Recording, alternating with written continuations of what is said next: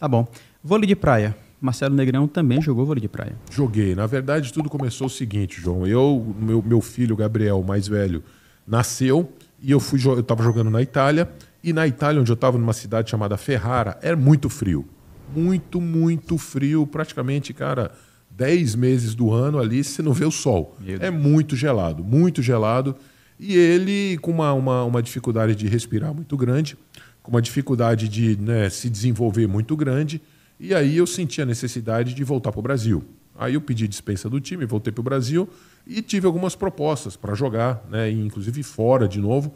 Mas eu falei, poxa, quer saber, cara? Eu tô com 33, eu vou experimentar o vôlei de praia. Né? Vou tentar o vôlei de praia. Na época, o Brasil estava numa situação muito boa, é, as coisas estavam fluindo muito bem, eu consegui rapidamente patrocínio, aonde me, pro, me proporcionou, como né, mais uma vez a gente fala do patrocínio, me proporcionou com que eu tivesse um tempo de adaptação grande, porque é um esporte totalmente diferente né, do vôlei de quadra, e eu consegui, é, é, durante um tempo, me manter jogando no vôlei de praia com os patrocinadores. Aí eu tive a oportunidade de correr o circuito Banco do Brasil, que inclusive está de volta aqui em Fortaleza, né?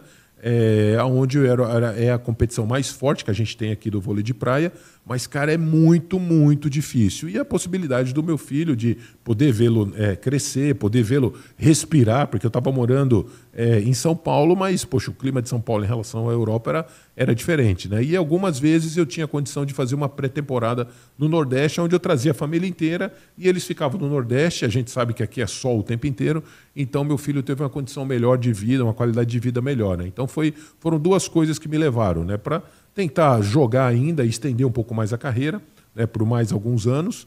Né? E a gente sabe que no vôlei de praia não tem tanta, tanta lesão, não é tão grave como no vôlei de quadra, que tem um impacto muito grande. Sim. Então eu consegui jogar até 38, mais cinco anos ali ainda. É, e dei uma qualidade de vida para minha família e pude acompanhar o crescimento do meu filho, onde eu vi e convivi durante muitos anos. E muitos dos filhos dos, dos meus amigos, né, do Giovanni, do Tandy, é, do Maurício, eles não viram crescer, porque eles foram pais jogando e viajava demais e estava sempre fora, e os filhos crescendo, e você perdendo os aniversários tal. E eu falei, poxa, eu não, não queria isso para mim. Né? Então, quando o meu filho nasceu, eu falei, poxa, eu queria curtir um pouco mais ele, queria ver ele crescer, e, e foi realmente o que aconteceu. Né? Legal. E foi qual a cidade que você começou com vôlei de praia? Não, eu estava em São Paulo mesmo. Estava em São Paulo e eu, eu passei a morar um tempo em Santos. Sim. Ali no Guarujá também, uhum. é uma das cidades né, praianas ali de São Paulo. É o litoral de São Paulo, onde eu comecei a treinar e de vez em quando, como eu te falei, eu vinha para Recife, uhum. ficava muito tempo em Recife, de vez em quando ficava ali em João Pessoa também para poder treinar, enfim, né, me adaptando a essa modalidade aí que é totalmente diferente. diferente. Totalmente diferente do vôlei de quadra. Teus, parceiros de, de, de vôlei de praia?